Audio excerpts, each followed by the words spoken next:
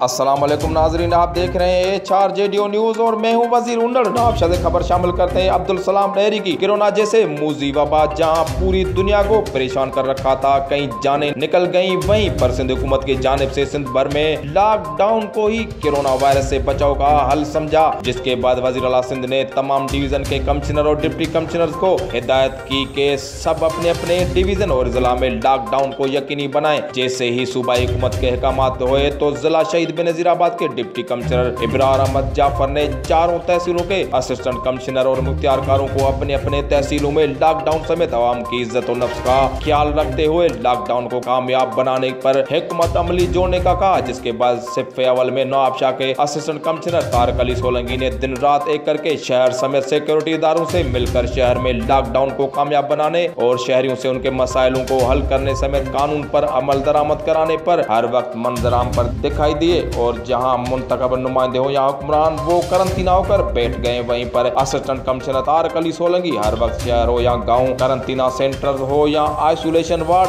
پر ہر جگہ دکھائی دیتے نظر آئے۔ اور اس حوالے سے اسسٹنٹ کمشنر تارک علی سولنگی سے رابطہ کیا گیا تو ان کا کہنا تھا کہ کرونا وائرس کے حوالے سے صورتحال دن بدن تبدیل ہو رہی ہے۔ کرونا وائرس کے مزید کیسز رپورٹ ہونے کے بعد اس سے بچاؤ کے لیے مزید سخت اقدامات کیے جا رہے ہیں۔ انہوں نے مذہبی رہنما تنظیموں کے نمائندوں سے اپیل کی کہ کرونا وائرس کے روک تھام کے لیے حکومت کا ساتھ دیں۔ ایچ آر جے نیوز میں فی الحال اتنا ہی۔ مزید خبروں اور اپڈیٹس کے لیے دیکھتے رہیے ایچ آر جے نیوز۔